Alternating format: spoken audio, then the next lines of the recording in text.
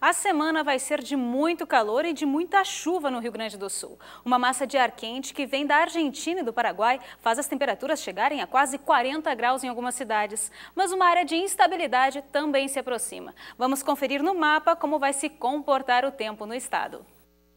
A região metropolitana deve amanhecer com sol e terá rápidas pancadas de chuva à tarde. A máxima em Porto Alegre chega aos 38 graus. No litoral sul, o dia deve ter sol com muitas nuvens e chuva à tarde. Em Pelotas, a mínima é de 24. No norte do estado, o dia começa com sol, mas deve ter chuva isolada a partir do início da tarde. A máxima é de 31 graus em Passo Fundo. A região central deve ter sol durante a manhã, com possibilidade de chuva à tarde e à noite.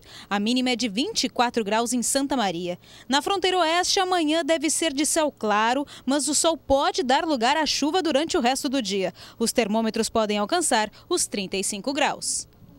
E vamos agora a um contato com a repórter Silvana Granja, que está em Capão da Canoa, para saber da movimentação do público no litoral gaúcho, com todo esse calor. Boa noite, Silvana. Boa noite, Vinícius. Boa noite, Lisiane. Boa noite a todos. O clima aqui em Capão da Canoa, desde que amanheceu o dia, foi de praia lotada. Mesmo depois do calorão da semana passada, teve um final de semana com chuva e temperaturas amenas. Amanheceu hoje já com temperaturas mais altas e algumas pancadas. Chegou a dar até 35 graus, muito sol durante a tarde. Agora há pouco nublou, deu uma pancada de chuva, mas tudo já voltou ao normal, já estamos no maior calorão de novo. Agora há pouco, a, a, a, além da chuva, como eu ia falar, me desculpe, a, chuva exigiu também este final de semana uma dose extra de superação dos atletas que participaram da décima travessia Torres Tramandaí. Veja na reportagem. Vindos de seis estados brasileiros, 2.400 atletas participaram da décima edição da travessia Sesc Torres Tramandaí, quando percorreram 82 quilômetros. Treinadores, amigos e familiares apoiaram os esportistas, que concorreram em quatro categorias é, é uma prova que todos podem correr, porque tem trechos de, de 10 km, trechos de 12 km, trechos de 6 km, e aí cada equipe monta a sua estratégia. Então quem corre um pouco menos, corre um trecho menor, quem corre um pouco mais, maior. Então é, é, uma, é uma corrida de estratégia mesmo.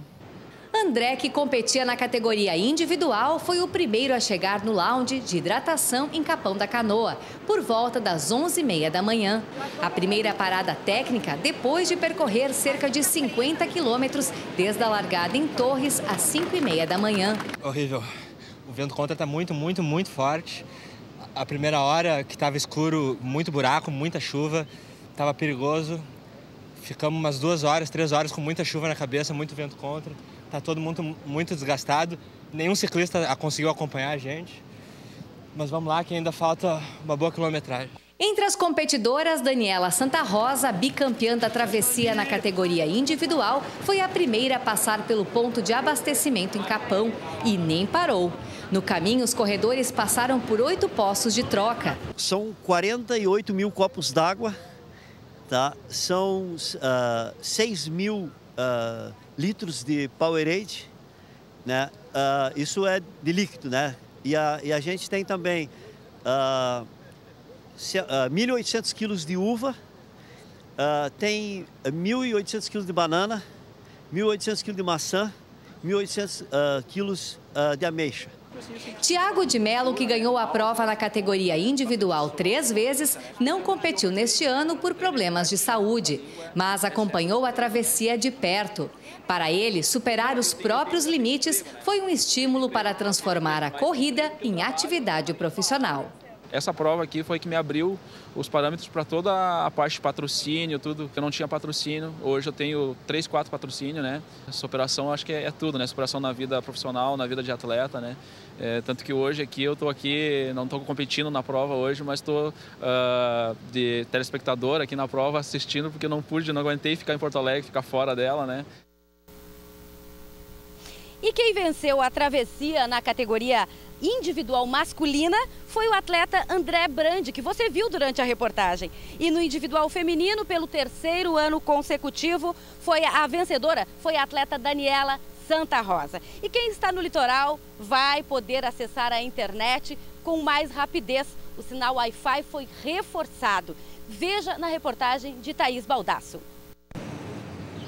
A instalação de novas antenas nas praias gaúchas ampliou o sinal de internet Wi-Fi livre. Os usuários que estiverem localizados até 700 metros das antenas podem navegar com mais qualidade. Além disso, a parceria do governo do estado com prefeituras do litoral e Procergs permitiu a instalação de telecentros, equipados com computadores de acesso livre e gratuito a todos. Nós estamos em 21 praias, né?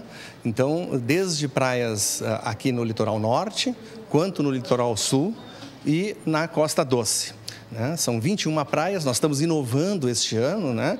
indo para uh, águas internas. Para usufruir dos serviços, basta fazer um cadastro nos telecentros, que exigem documentação de identidade. O cadastro é válido até o final da temporada. Aqueles locais onde não houve a possibilidade por parte da prefeitura de colocarmos um telecentro devido à falta de espaço, né, nós mantemos pelo menos a internet livre. Tá? Então, uh, o telecentro está na quase, quase que na totalidade dos 21 locais, né? mas a internet livre está em todos eles. Hoje em dia a gente não consegue mais desconectar um segundo. Estando na beira da praia, tu está na paz do mar, mas conectado com os amigos. Os telecentros estão localizados na beira-mar ou em pontos disponibilizados pelas prefeituras. O horário de funcionamento é da 1 da tarde às 7 horas da noite. O serviço fica em funcionamento até o dia 9 de março.